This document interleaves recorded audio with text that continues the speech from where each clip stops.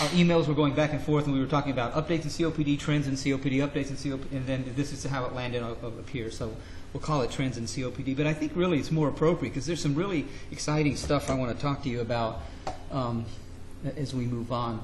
So the objectives today, everyone has at least three objectives. I want to talk a little bit about the pathophysiology and COPD in, in the context of the clinical presentation. Some really interesting new stuff uh, coming out, and I want to keep it very clinical, but I think you'll appreciate the pathophysiology. Then we'll talk a little bit about the classification and management of stable COPD, and then we'll talk about acute exacerbations, because this is the, the bread and butter of, of what you do in, in uh, looking and managing at COPD. So I'm just going to give the simple definition. This comes from the latest Global Initiative on Obstructive Lung Disease report. Everyone, I hope, has heard about the GOLD criteria. It's kind of what, what we use. This is the kind of stuff you're going to see on the, on the tests and the boards, although there are other ways to classify COPD and severity and so forth. GOLD is, is the gold standard for sure.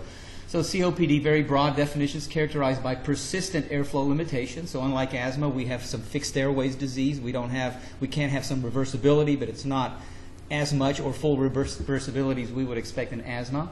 Um, and it's in, uh, associated with its own special type of chronic inflammatory response, very different from the asthmatic inflammatory response from an immune immunopathological basis. I'm not really going to go into that too much today because I, I really want to keep it clinical and, and show you some, some hit, hit, some key points and highlight some things that you may not know.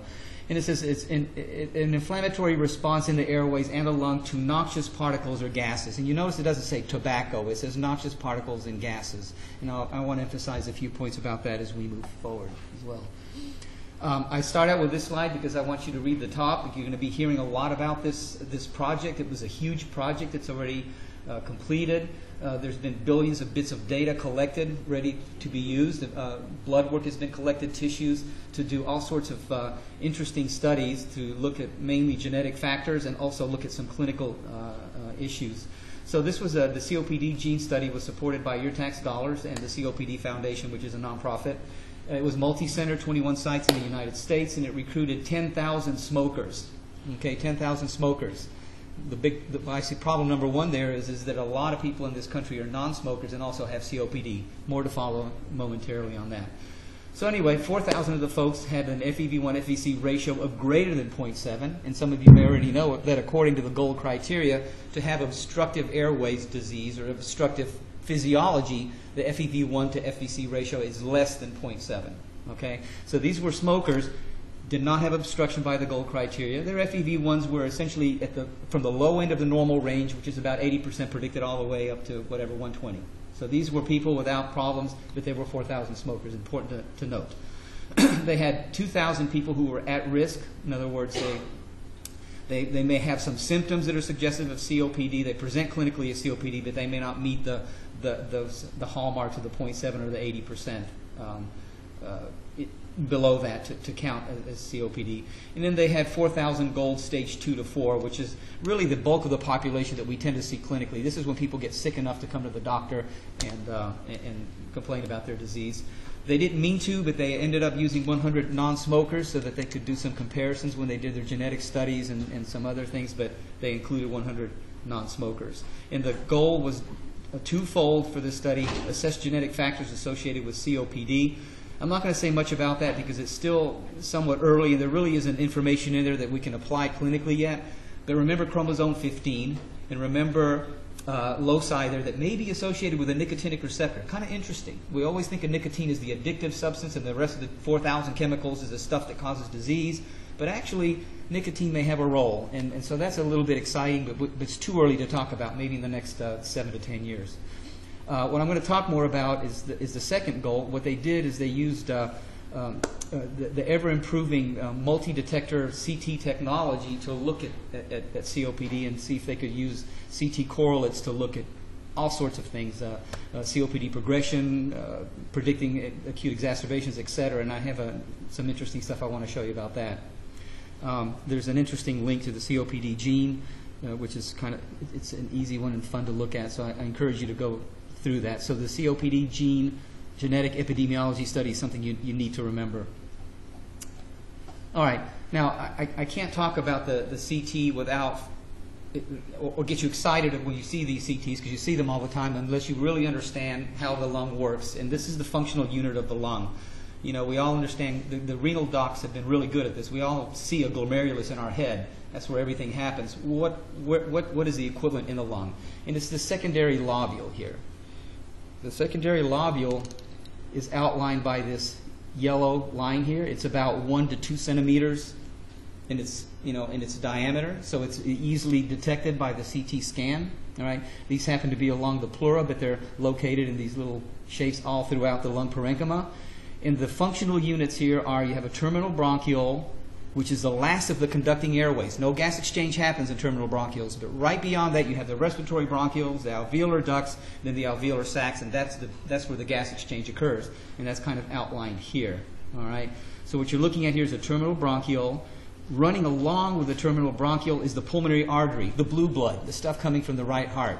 It forms the plexi of capillaries around the alveoli, and then they pick up the oxygen, they turn red, and then it returns via the pulmonary veins. The veins do not return along the same pathway as the pulmonary arteries, they return along the septa of these secondary lobules. So they kind of, the capillaries are here, the blue comes in here, they join up, and then they come out here through the pulmonary veins, and then they go on back to the left heart, and, and, and the rest you, you, you know.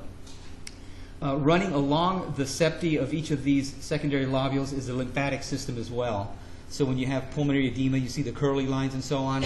What you're looking at are the are, are the thickening of the uh, of the septi of the secondary lobules. Normally, these things are less than one millimeter in, in, in diameter, so you can't really see them on, even on a high resolution scan. But um, but uh, that that's the functional unit of, of the lung. So please remember that because when we inhale tobacco smoke, it starts here all the activities starting here, the, the pathophysiology when you get it. This is just um, uh, the, the, term that you hear a lot, and I'm going to be using a lot, is centrilobular, and you see this blue dot in the middle, in the center of the secondary lobule, and here's where we're going to be talking about our, our, our, our disease, uh, our, our, COPD, and, and, what it might mean um, in, in, terms of our of clinical usage in, down, down the road. Um, some of these uh, pictures uh, are quite old. This is from 1947. This is kind of an intravital stain. It depicts very nicely the secondary lobule here. And what you have is a terminal bronchiole, and you have the, the tufts of different respiratory bronchioles kind of coursing throughout, and then all the alveoli kind of stuck out here, on the, uh, out, you know, radiating out from these. This is a higher power. And you see here a terminal bronchiole leading into this tuft of uh, respiratory bronchioles, and then the alveoli all around that. This is a, a, this is a high resolution micro CT. So I don't know the technology, but, you, but they're able to cut, do very, uh, you know, almost like using a CT scanner like a microscope. Terminal bronchiole, see it's nice and thick. There's no gas exchange there.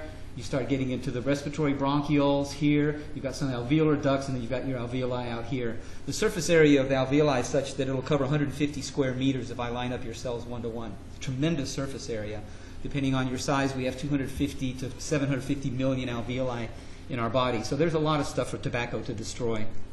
And it takes a lot of destruction for, for people to, to, to come to you clinically. So a lot of damage has, has happened. In the lower panels, you start seeing uh, this is the centrilobular emphysema. CLE stands for centrilobular emphysema. So what you're seeing here, these areas of darkness, this is where the bronchioles, alveoli have been destroyed by the noxious gases that they talked about, that the definition describes, uh, creating these emphysematous pockets, if you will. This is just a, a cut through an H&E stain. And you see this large space in here, some fibrosis around it, okay, because the, the continuous exposure to tobacco smoke creates this uh, uh, inflama- chronic inflammatory phenomenon that theoretically is what makes the FEV1 drop over over many years and, and worsen the disease. Certainly, people keep smoking. And this is just another, I guess, sort of three-dimensional cut view of a lung showing these large cystic areas where probably in this area you might have had several secondary lobules that were just totally obliterated and formed one large cystic cavity. Okay. so many of you, I'm sure, have seen a picture somewhat like this, especially if you've rotated on the pulmonary service, and we're looking at a lot of CT scans. Here's kind of a drawing of what's happening in, in, uh, in this slice in particular. You see a lot of darkness, all of these holes. These are all secondary lobules that have been destroyed by the noxious gas or the, by the by the or particles or in tobacco smoke. And you can see here again. Here's our secondary lobule. You can see this uh, these dots in here demonstrate how the, the disease is destroying um, is destroying alveoli from you know centrally moving outward. So this is why we call it centrilobular emphysema, and we see this a lot. Uh, another flavor of emphysema is called panlobular, and you can see in both of these pictures what's happening here is that these secondary lobules are becoming totally, totally obliterated, and you can see these huge areas, regions of just of air. There's really no gas exchange surface surface left in here. This is not nearly as common as the centrilobular pattern. The centrilobular pattern is by far the most common that we will see. Okay. And then this is what, can, this is what some people call paraseptal emphysema, but the COPD gene folks call pleural-based emphysema. And what you see is just uh, these, these septi that are all around the, the peripheral part of the lung parenchyma. This is not like IPF. This is not pulmonary fibrosis. These are this is destruction of lung tissue, and then these these long strands of, of fibrotic material around that. You can see that depicted here in the in the in this um, drawing. I'm not showing you bullous disease. That's a that's a whole other um, uh, aspect that, that that really doesn't correlate to many clinical features or, or risk assessments that we do in COPD these are the, the, are the features that the COPD gene study is using with the 10,000 CT scans that they've, uh, that they've obtained, and, and, there's some interesting information that we're parsing out there. Uh, I can see a time where, you know, in interstitial lung disease, high, we live by the high resolution scan.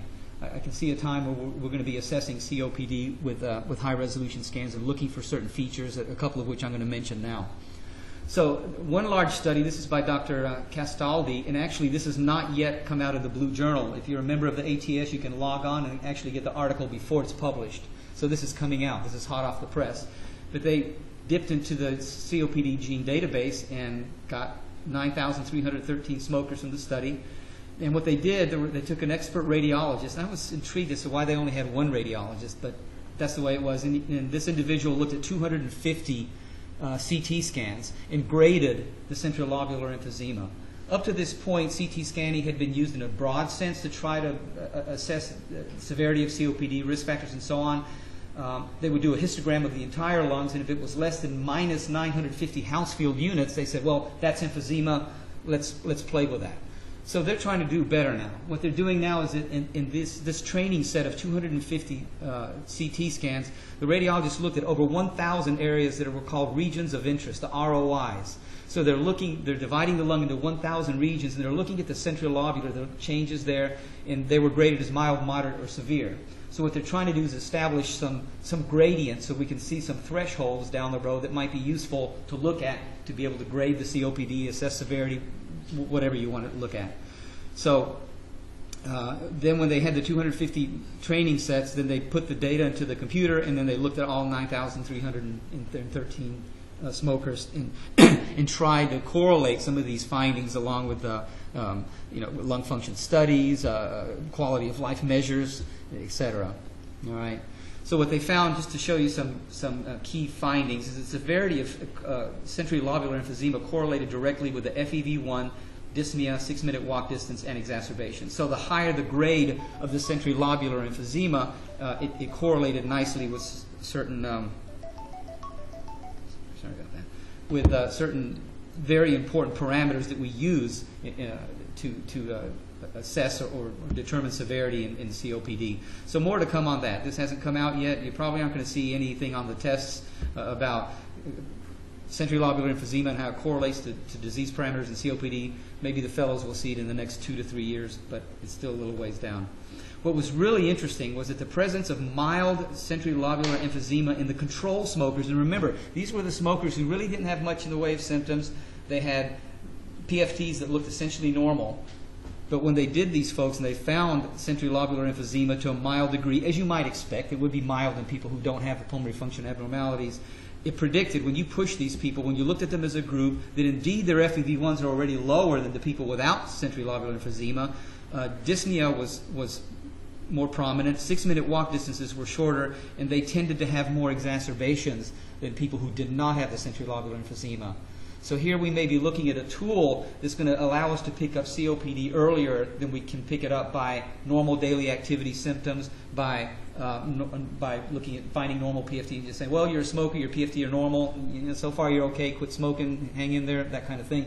If we can maybe find some abnormalities uh, based on, on studies like this, we may be able to employ the CT scanner uh, earlier and, and really drill down on people who maybe get short of breath on, on moderate activity or, or, or you can't figure out why they're, why they're dyspneic.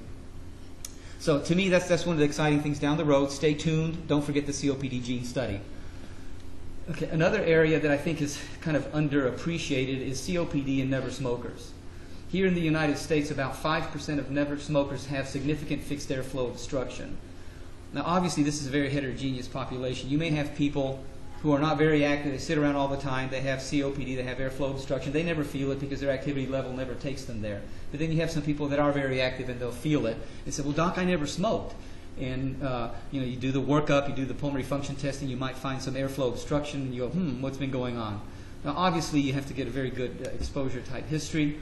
Um, uh, in, in other countries, for example, where in third world countries where they have a lot of indoor cooking and poor ventilation, the, the, the, the incidence of, of uh, COPD in never smokers is 20, 30%, especially in the poor women who have to cook in there and the, and the stoves aren't ventilated. Dr. Roman gives a very good lecture on this biomass, uh, you know, bronchitis, bronchiectasis thing. So I, th- I think we're not really appreciating COPD in never smokers.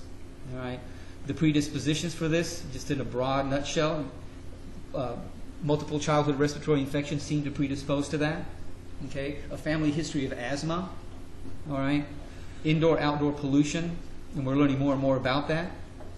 People with increased bronchial hyperresponsiveness, and then people with inadequate lung development. And what's really very interesting is women who smoke while they're pregnant, their children tend to be, uh, when they're born, tend to be a little bit uh, below birth weight, and their lung size is compromised. Their lungs, their lungs are smaller than uh, comparable babies to, born to mothers who are not smokers. In Kentucky, we're number one in pregnant women smoking, as an aside.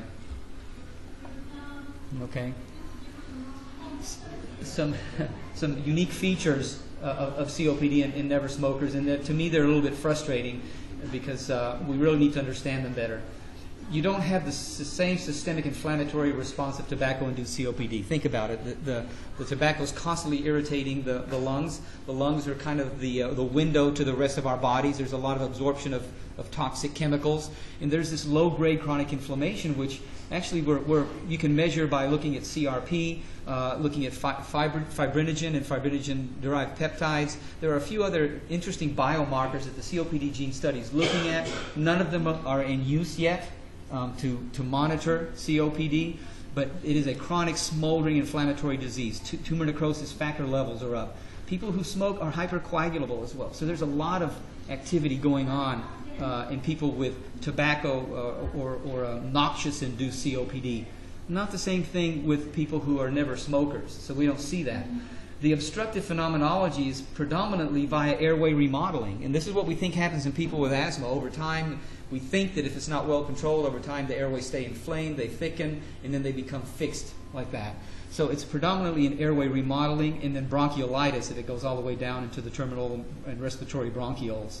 Okay? And what's really frustrating is that never smokers with COPD are deliberately excluded from clinical trials. So we may have a never smoker who has PFTs and with fixed airways, and we treat them with like COPD, but who knows if they respond to you know anticholinergics or, or the beta agonists or, or, or even inhaled corticosteroids. No one knows if there's really any effic- efficacious drug out there for these individuals, and no one has done studies in in, uh, in this group. So just another thing to take home.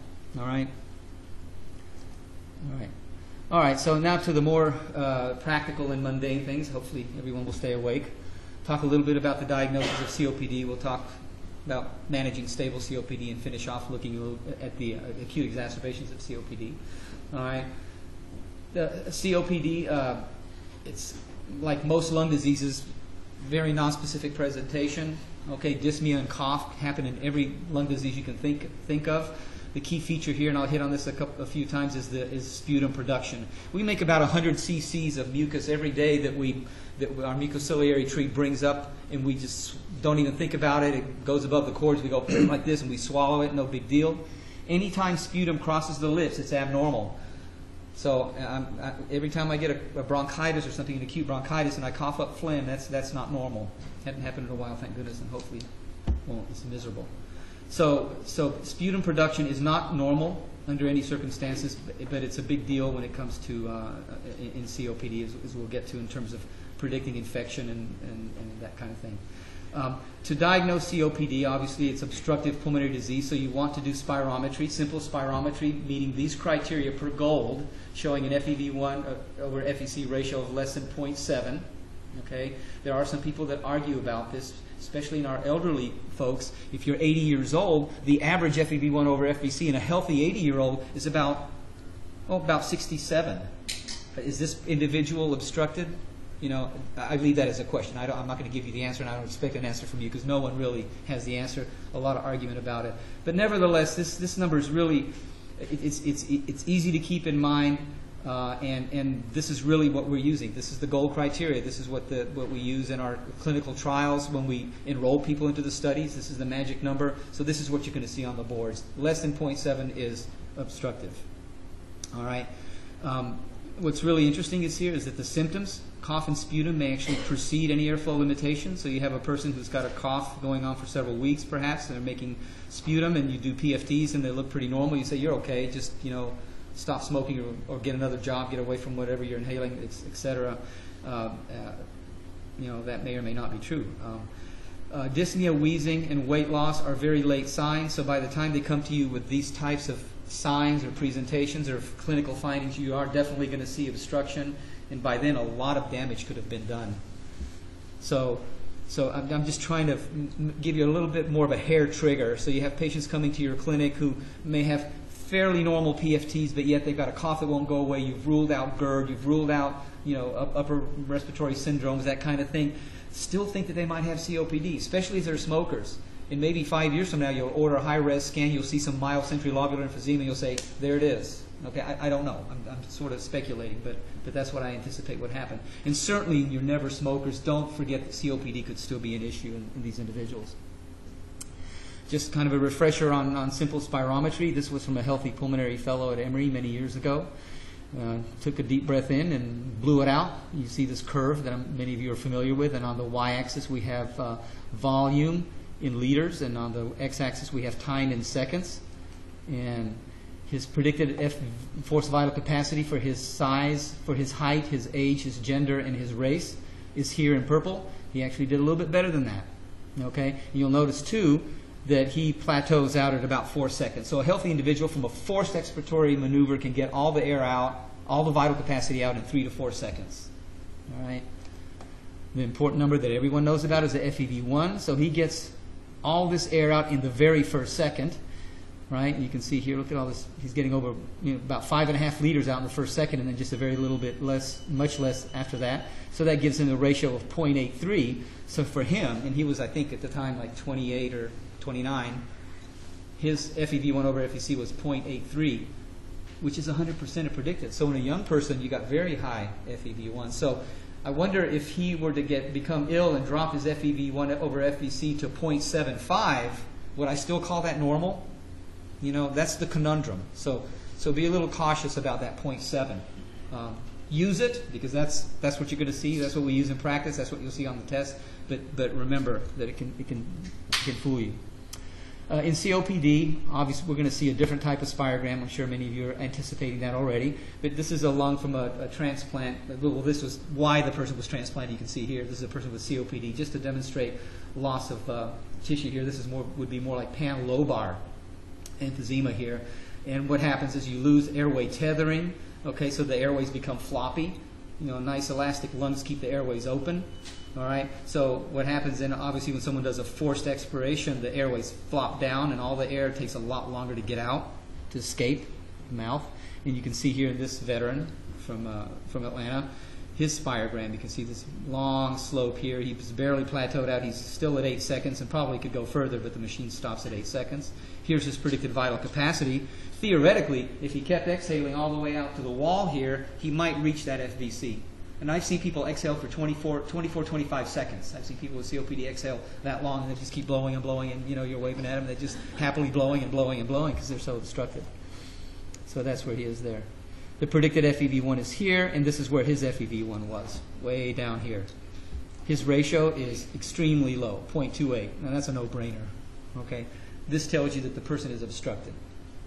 It Doesn't tell you anything about what the FEV1 is. It doesn't tell you anything about the FVC. It doesn't tell you about severity or, or, or classification. It just tells you that uh, that you're um, that you're obstructed.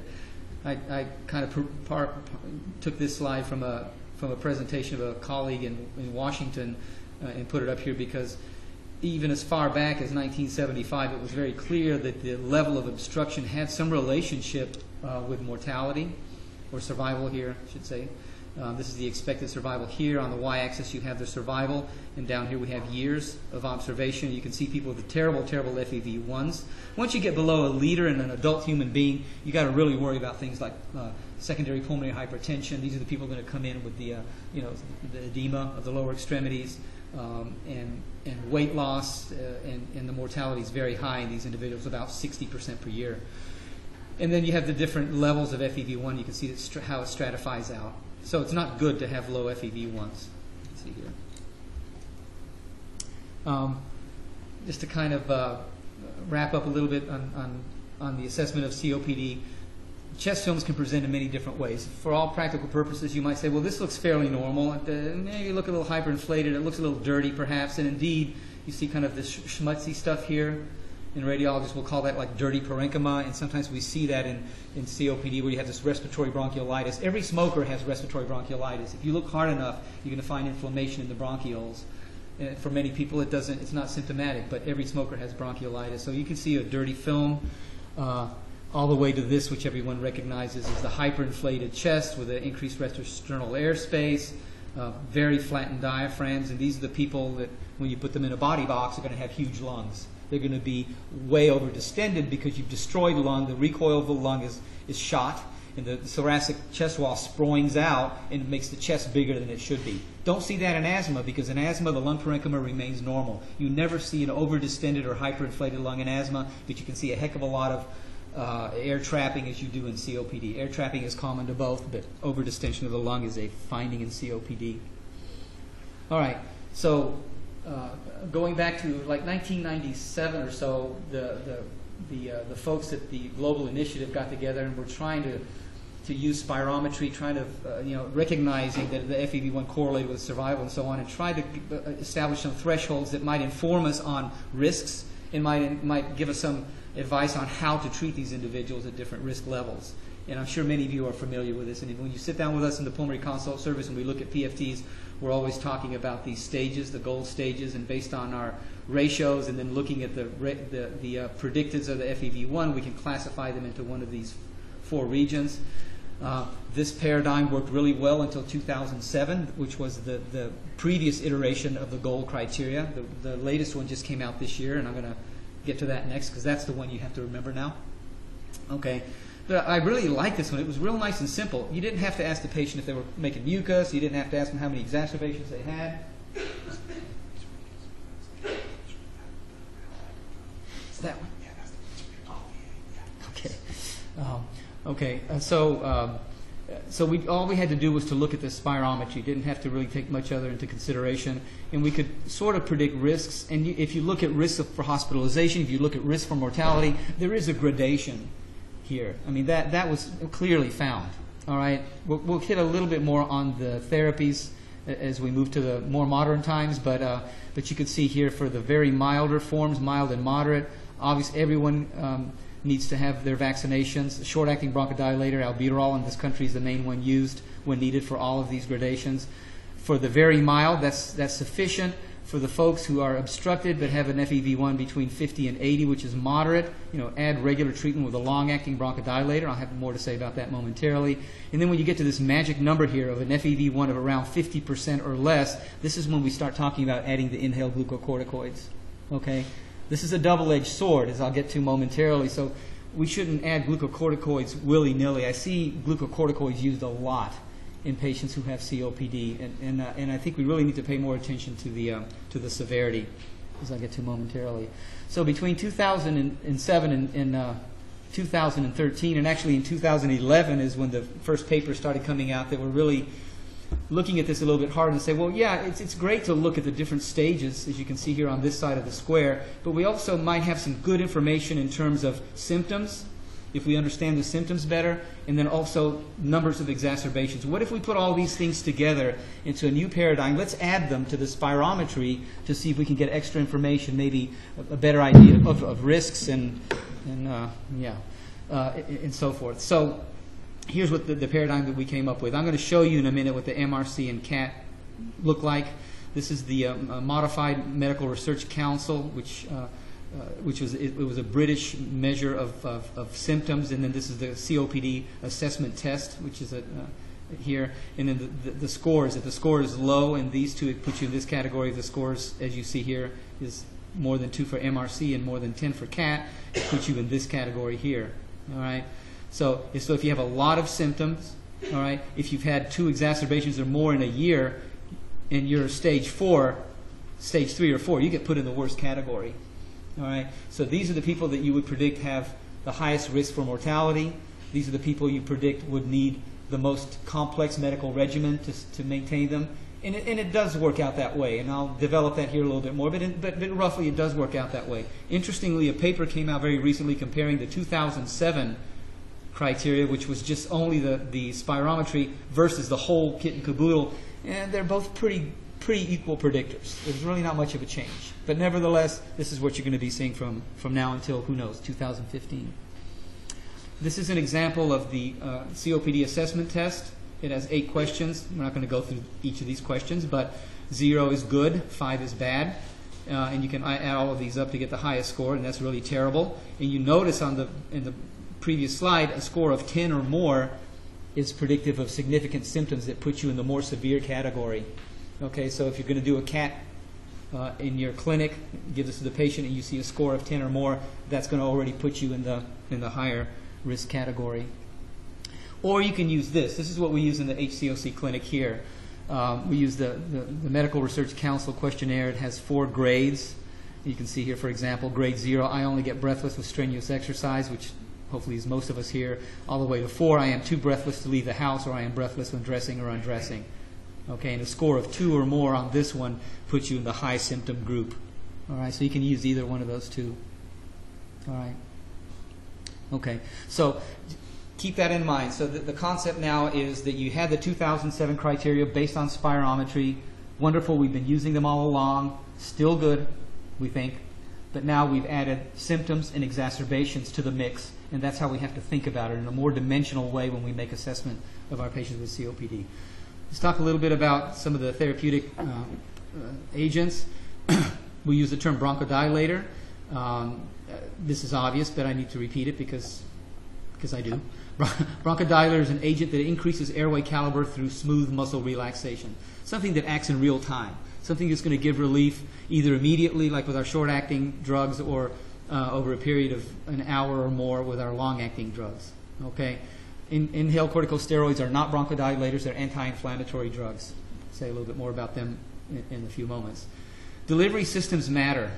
Okay, a lot of our delivery systems these days are dry, or what we call DPIs, or dry powder inhalers. So imagine somebody with terrible COPD. They're very hyperinflated. They blow out, you know, the size of a Coke can, and they're expected to take in a deep breath and take this powder all the way down deep into the lungs. No, it doesn't happen. The more severe the disease, the more central deposition you get, and that can be a problem, you know, with efficacy of the drug.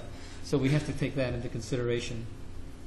Uh, another concept, you know, nebulized bronchodilators. These are the things that we use in the ER. A lot of people have nebulizers at home. And what you will notice is that instead of microgram doses, you're looking at milligram doses, so orders of magnitude higher drugs. Um, they do improve subjective relief during exacerbation. So try to uh, uh, use the nebulized approach more for people who are getting out of control, who are destabilized, who are in acute exacerbation. Uh, bronchodilators do improve symptoms. They do reduce exacerbations. I'll say a little bit more about that. But they do not decrease disease progression and they do not affect survival. There are only two things that, that, that slow disease progression and improve survival. One is quitting smoking or getting away from the noxious agent, and number two is supplemental oxygen if they qualify, if they, if the, if they need oxygen. Those are the only two things. Everything else is good for symptom relief, but it doesn't change the, the dynamics. Um, in general, it doesn't change the dynamics. Um, this is just pictures. I'm not promoting any of these. These are up here are the, the meter dose inhalers. They've been out since the 1960s, starting with that Primatene Mist that made everyone's heart race up to non-specific beta agonist that made everyone's heart race. These are the meter dose inhalers, they're uh, powered meter dose inhalers. These are dry powdered inhalers, very common ones that you're familiar with. Um, and these are the ones that, as a person becomes more and more severe, have, have difficulty getting into the um, getting into the right place. And then, of course, the liquid nebulized preps are here. You can see some of those. Um, lots of them. Um, I'd like to go back as. All right. These are other types of. This is a dry powder inhaler. They all look a little bit different. They, they work different mechanically, so it's very important to, to make sure your patient understands how to use the device. They can become quite complicated. So beta 2 agonists, they work by increasing cyclic AMP, which translates into uh, smooth muscle relaxation. Albuterol is short acting. Uh, formoterol and salmeterol last 12 hours. Formoterol has a fairly rapid onset, very similar to albuterol within minutes. Salmeterol probably peaks at about an hour out. Okay, the studies over time, there you can name the studies. Probably the, the most famous study looking at at, at these drugs is the, the TORCH study. We were part of that. It was four years long, over 4,000 individuals. It was uh, a very revealing study. Indacaterol is, is uh, you haven't seen it yet on the market. It's coming out. It's a 24-hour preparation. It has enhanced bronchodilator effects versus formoterol and salmeterol, with maybe like a 15 to 20 percent improvement or, or benefit greater than than these other drugs. So stay tuned for this one. The adverse effects of the beta agonist, as you might imagine, could be tremor, uh, and of course hypokalemia, because beta agonist stimulation drives uh, potassium into cells. So when you've got people in the ICU or in the ER, and you're giving them tons of beta agonists, watch out for hypokalemia, uh, and it also and, and it increases O2 consumption. So you have to be careful about that. Anticholinergics, they block the effect of acetylcholine on muscarinic receptors. There's a whole uh, isotypes of muscarinic receptors. They do different things, but M1 and M3 are the ones that are most responsible for contracting and relaxing smooth muscle. So when acetylcholine hits one of these, the, the, the smooth muscle contracts and you get bronchoconstriction. So the anticholinergics are very good at blocking these receptors and not allowing them to do that when acetylcholine is around. And acetylcholine is like methacholine. We do methacholine challenge test. It's a very potent bronchoconstrictor, right? So we, if we block acetylcholine, we can we can in, in, enhance smooth muscle relaxation. Um, the studies show that clearly the antimuscarinics improve the quality of life. They do reduce exacerbations and hospitalizations, which is a nice thing because it is thought that every time you exacerbate, you're taking, you're taking the rate of FEV1 decline down much faster. And then when you recover, you don't recover back up to your baseline, you're a little bit lower. So the more exacerbations you have, the faster you're going to progress overall. So if we can increase the interval between uh, uh, exacerbations, we can hopefully slow down the progression of, of the disease. Uh, of course, having good bronchodilation improves uh, performance in pulmonary rehabilitation.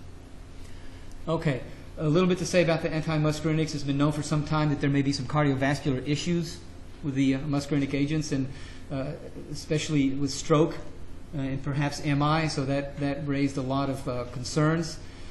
The dry powder inhaler was used in the UPLIFT study, which is a very large study, often referenced study, very well done, randomized placebo controlled study, which demonstrated that the dry powder formulation shown here did, in fact, not show any difference with the, between placebo in terms of these cardiovascular effects.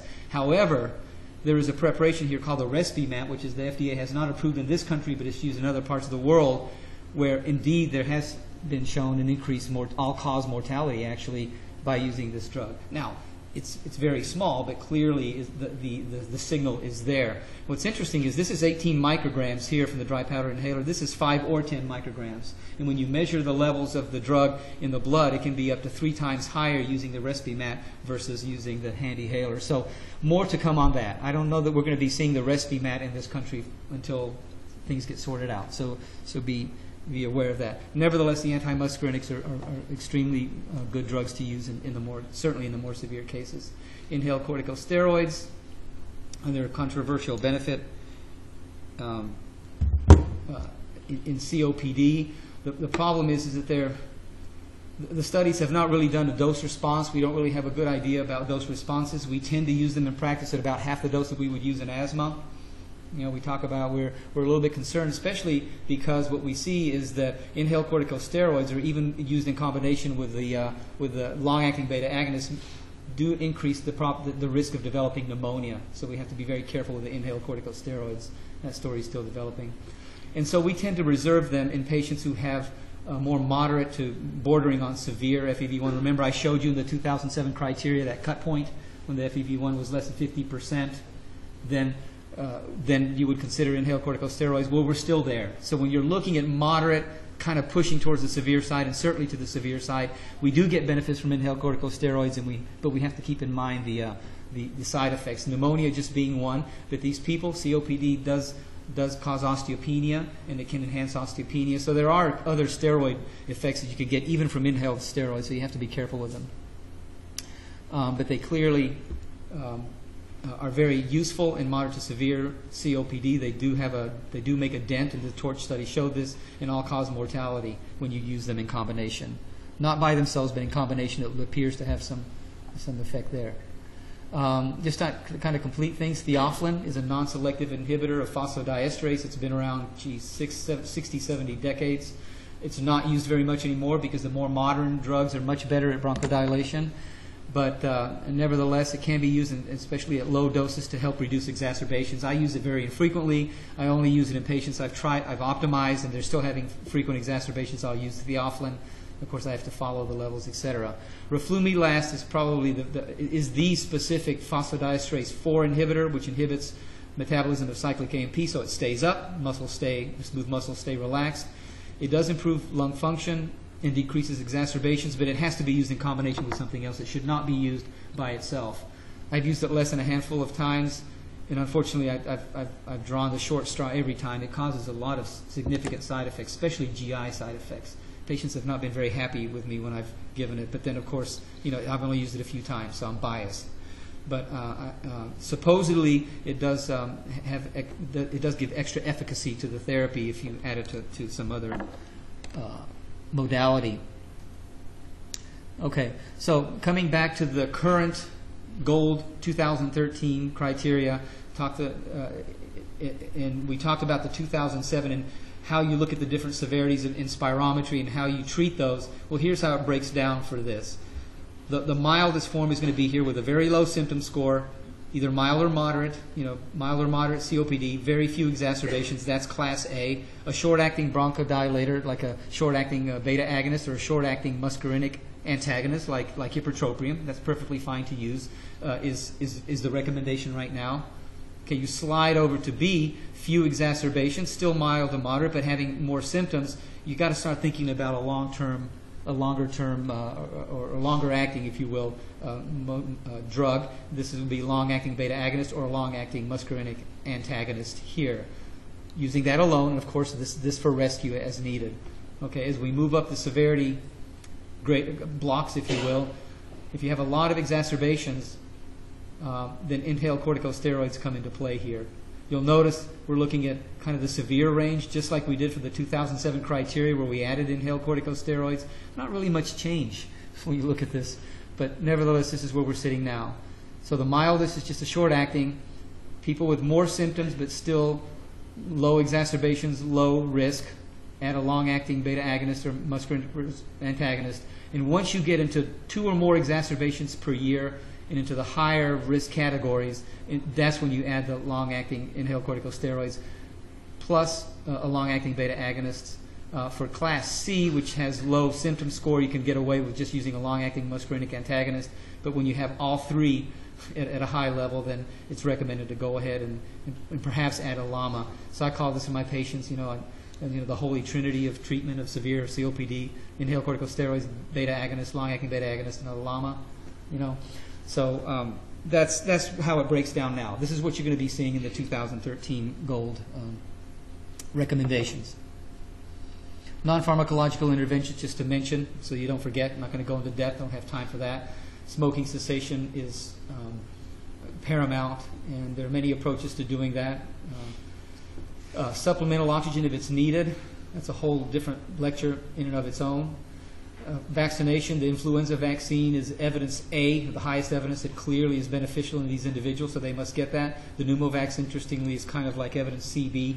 You know, a lot of these people older. The immunogenicity of the pneumo, pneumococcal vaccine is not nearly as good as using dead viruses.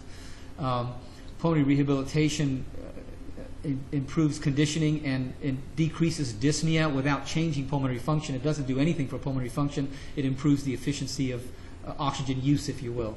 Lung volume reduction, where it's indicated, is a whole other talk in and of itself. Bullectomy, and then in the end, uh, lung transplantation.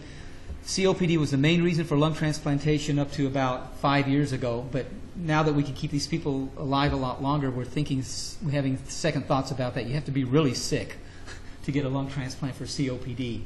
And here's some of the criteria that are used to get a lung transplant if you have COPD. Right, patients with a Bode index of 7 to 10.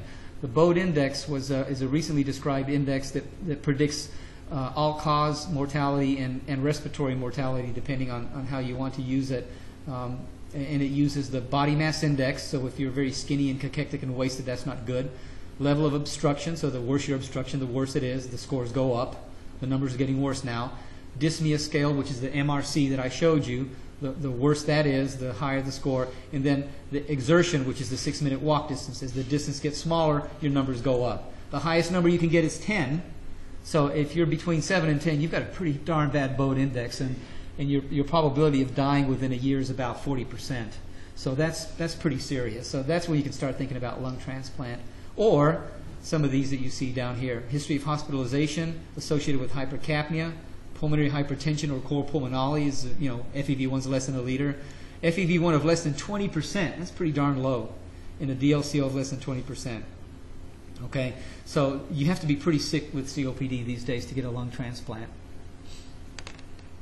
Okay, we'll finish off quickly with uh, acute exacerbation of COPD. Uh, again, coming from the Gold Report, acute exacerbation of COPD is an acute event characterized by worsening of the patient's respiratory symptoms that, um, that are beyond normal day to day variations and lead to a change in medication. Very muddy uh, description, and, and it is because what might be an exacerbation for one person may not be for the other individual.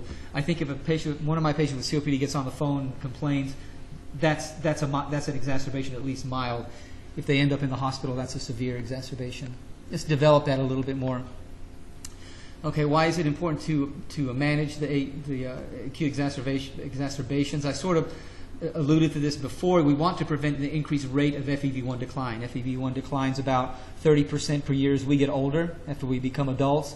In, uh, in, in, in the general population of smokers, it declines twice as fast, about 60 mLs per year. Okay? Uh, and in people with COPD, it can decline. I have people who decline 300 cc's per year, so it's, it's, highly variable, but it declines quickly. So every time you get an exacerbation, you're taking a big hit, and you never come back to where you were before the exacerbation. So we clearly want to avoid them. Um, of course, we want to avoid hospitalization and the associated mortality. If a person goes into the hospital and has to be intubated for an acute exacerbation, 10% of them will not make it out of the hospital, and 40% of them will die within a year. Okay, and within four years, 50% will be dead in, in terms of all-cause mortality. So making it to the hospital with an acute exacerbation is a bad thing. Costs a lot of money, and then the recovery can be extremely long, uh, and there's uh, all sorts of quality of life issues and, and so on, not just for the patient, but for the families who have to take care of them. Um, so how, how do we want to approach acute exacerbations? Well, it would be nice to be able to predict them. If they've had a history of prior exacerbations, and I show, as I showed you on that new paradigm, if you have two exacerbations per year, you can darn well know that by the next year you're going to have an, at least another one, probably another two exacerbations. All right.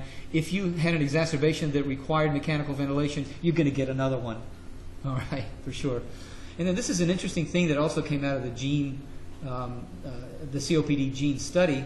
And what's interesting about this, you had large numbers of people, and what one of the studies looked at the diameter of the ascending aorta at its widest point where the pulmonary artery crosses, if you measure the diameter of the pulmonary artery, this is on CT scanning, and the pulmonary artery is larger in diameter than the aortic, uh, I'm sorry, yeah, than the aortic artery, then that was predictive of people developing acute exacerbation.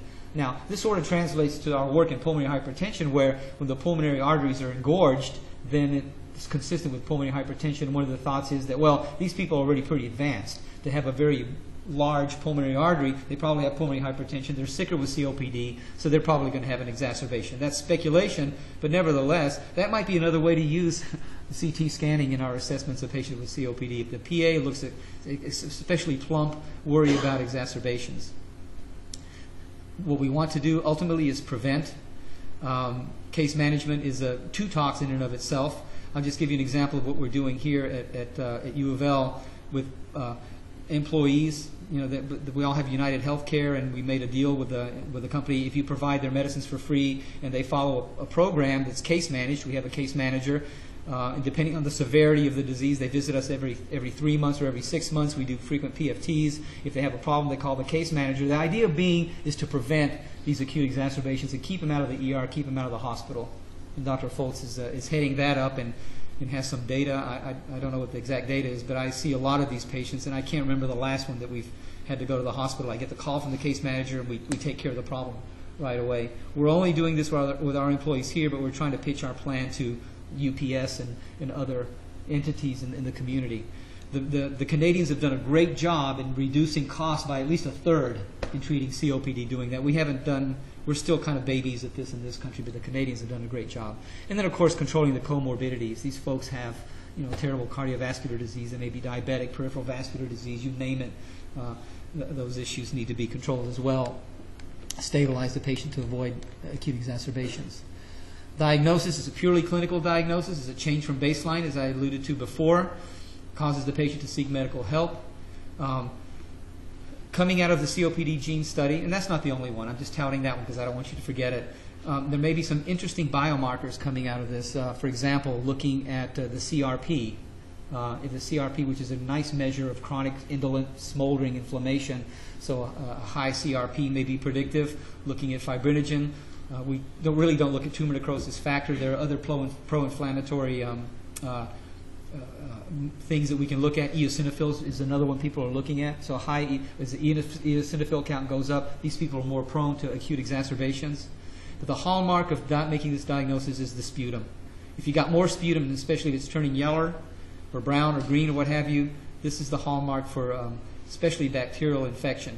Now, having said that, that that's still a little bit muddy. If you go, if you do bronchoscopy and get lower airway secretions in people with COPD and acute exacerbations, you can culture many different types of bugs that are found in the respiratory tract, in the, in the mouth, and so on, for example. Or if you take stable patients with COPD, you can see the same thing. The microbiome is, is there. They, they seem to have the bugs below the, the, the cords where it's supposed to be sterile. So you can find it in acute exacerbations and not it's probably a load effect. When you have an acute exacerbation, you just have a there, there's like a bloom or whatever eh, it, of, of the bugs, and it tips you over into an inflammatory response, which is the acute exacerbation. But when you have more sputum and it turns color, then we treat for, for bacterial inf- infection. The early gold stages, we typically see strep pneumonia, H. influenza, Moraxella, Moraxella catarrhalis. And when you get into the higher stages, you think about these, but more and more we're beginning to recognize that some of these folks have Pseudomonas. So if you have someone in gold stage 3, 4, and they ain't getting better with their exacerbation, they're still, their, their sputum is still brown, start thinking about the, the possibility that there may be Pseudomonas. Typically, you don't have to get blood, um, sputum cultures before or during treatment for acute exacerbations, but in this scenario, if they're not responding, definitely do get cultures to see if, if there may be something that we're missing with our standard um, drugs. So, uh, forget the first bullet. I was going to talk about that. I, I sort of covered that when we're, we're still not sure what the, the, the, flora can be found in non non sick and sick individuals and you know, do antibiotics make a difference is still somewhat controversial. People are giving a lot more credit to the anti-inflammatory effects of antibiotics. The macrolides, as you may know, are very potent anti-inflammatory drugs, as are the tetracyclines. And then the quinolones also have a little bit of anti-inflammatory activity. So maybe it's not killing the bugs that are down there even before the exacerbation. It may be that we're just kind of cooling off the inflammatory response and the patients are getting better because of that. Okay? So um, clearly, for people with these these clinical findings, um, and these are placebo-controlled trials. From the, the, the, designs are all very different. They use different drugs. They use different levels of, of severity, so on. So it's difficult to do a meta-analysis. You can start out with you know 50 studies, and then you, you do your meta-analysis. You can only use five because they met the criteria that you set uh, you know a priori to do a meta-analysis. So they're they're kind of difficult to do, but clearly. Uh, if these if folks have dyspnea, sputum volume, and sputum purulence, especially purulence, then antibiotics should be used. The types of antibiotics, there, there are many. We can use the penicillins with a clavulanic acid, like Augmentin, macrolides, commonly used tetracyclines for non-hospitalized patients, and as I said, culture only if no response. These quinolones as well.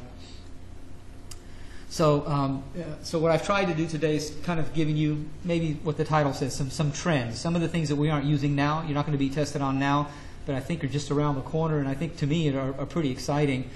Um, and in fact, I rely a lot. I, I'm starting to use CT scanning and these folks that you send to me who have this chronic cough that won't go away and COPDs and the differential, the, the PFTs are not really that impressive.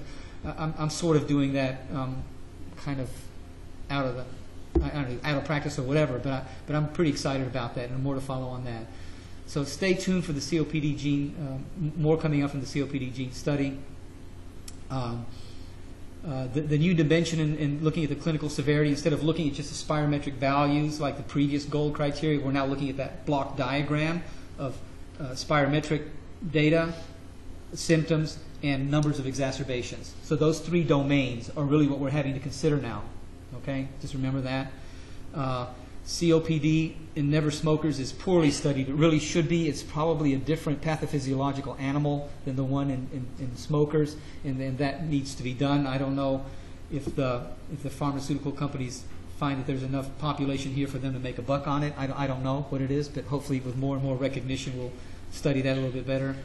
Um, the therapeutic regimen that I showed you, still I think very similar to the 2007 criteria, but it's guided by the new paradigm as I showed you.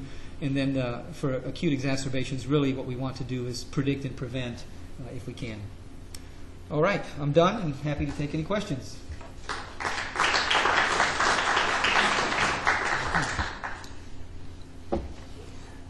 Uh, up there. I wonder if there are things we can do as general controls that uh, can address the current, uh, currently well, well studied proven uh, benefits of uh, pulmonary rehab. Is there some other things in addition to Yeah. the first couple of steps that we'll avoid Mhm. uh, treatment agents and so on? Yeah. Uh, can, are there things we can do along the lines of pulmonary rehab, maybe outpatient, maybe even primary care based, or if not, is pulmonary division setting something that we can work with, particularly endocrine patients? Oh, yeah, that's tough. That's tough. Well, pulmonary rehabilitation clearly works, and and people have asked a lot of questions about. Well, do you have to be very sick? Uh, what if you're a continuing smoker? Does pulmonary rehabilitation help? And the answer to that, those questions and many others is, is definitely yes. The problem with pulmonary rehabilitation is that it's very labor intensive. I mean, almost every patient with COPD from moderate to severe could benefit and, and would and will benefit from, from pulmonary rehab, even if they continue to smoke. Uh, the difficulty is just getting them to that getting them to pulmonary rehabilitation. It's very difficult. Um, there are a lot of regulations. You have to have a certain amount of space, so many square feet per, per patient. Um, the, the, the person who's the, uh, the coordinator, they can only do like six people at a time. You know, and you got to pay a full-time coordinator. So if you want to do masses of people, you have to have a lot of coordinators. So it's mainly the logistical problems with getting pulmonary rehab done. But clearly, it, it, it diminishes dyspnea. It increases the walk distance. Um, uh, and it's not only that, but we teach people how to how to be more mechanically efficient. You know, so instead of putting your pots and pans down here where you have to lean forward for them, put them up here. Instead of putting things up here where you have to work above the level of the heart, you know, of the venous return, which is very difficult. Put you know, and moving furniture, very simple things that, that they learn. So there's a lot of education as well as the uh, endurance type of training that's very beneficial in pulmonary rehab. It's clearly been demonstrated. Does not improve survival, but it does improve quality of life and decrease hospitalizations and loss of time at work. So It decreases loss of time at work. is- It sounds like from, from your overview, I know there's more to it. Yeah. than that, personal breathing, whatever. But uh, it sounds like there's some advice that perhaps we can give to our patients uh, in an outpatient setting without trying to emulate or qualify. Right. This way as rehab center. Yeah. Well, well, there are, and, and uh, uh, I I ran a rehab program at the VA in Atlanta, and, and one of my research coordinators now used to run a program here in Louisville, and she has material that she would give the patients once they finish the program, once they graduated. So once you graduate, you can give them instructions on how they can continue some of these endurance exercises. If, if they take the course, if they take a, if, they, if you do pulmonary rehab, usually they're three days a week. Optimal is three days a week for about 18 to 24 sessions, and if they don't follow that, when they when they when they're finished with the course, then a year later they'll be back to square one. So it's important that they maintain in some kind of endurance activity, and we can teach them that. There really aren't any good studies showing that we can okay here do this, do this, do this, and you know uh, uh, at home. There really aren't very good studies to, demonstrate that, that home-based you know literature or education to do this will, will has any benefit. No one has done that. Yeah. Got two questions. First of all, as a follow-up to Hughes, who qualifies for pulmonary rehab? Is it anybody who carries a diagnosis of COPD? Well, that well, you have to. COPD is really the qualifier, and, and you have to have uh, different third-party payers use different things. But the F, the, the FEV1 has to be, I think, below 50 percent. There are some numer- some numbers, some PFT numbers that they use to, to pay for, for pay, payment purposes. It's really terrible because we. We don't have good data on people like with idiopathic pulmonary fibrosis or other pulmonary diseases, but the data is coming out, and, and P, pulmonary rehab is helpful in those situations. But the companies, the insurance, the third-party payers aren't paying for them because they have no, no, um, you know, no data. They have no cut points. They have nothing to say. Okay, we'll pay for this one, not for that one. It's very difficult to get get it reimbursed. The other question I had was about your character, the kind of characteristics, the new, the new, um, newly adopted characteristics of COPD or the, um, Right. and how we, how we kind of think about severity of disease. Um, is a community primary care doc for many years, I had this very simple strategy. I would do office-based PFTs. If somebody had COPD, I'd put them on Spiriva. Mm-hmm. If they didn't feel quite well enough, I'd stick them on Advair or something like that. Right, right. I mean, so ju- justify justify the fancy approach. Like why why doesn't it work just to put people on inhalers and titrate them to symptom relief? Right. Well, well, for, uh, I can tell you that some of my patients, you know, saying I can't pay two hundred forty dollars for Spiriva a month. So a lot of it is, is the, the cost, the, the cost issue. So if someone is in a very mild category, you know, and they just get them to quit smoking, you know, take care of their comorbidities, and give them a very cheap albuterol inhaler. Um, certainly, if, if they're moderate, bordering severe, or severe, then you can really justify these more expensive and higher end, um, long acting preparations. Um, I, I think if you have someone who's got mild, very mild disease, and you just you just aren't cutting it, and their symptoms seem out of range, you know, send them to us. There might be something else going on. And they might have pulmonary hypertension from, you know, that we see older people, and, and they might have chronic thromboembolic disease. So there may be some other underlying problem that's causing their symptoms, and not just and not just the COPD. Yeah.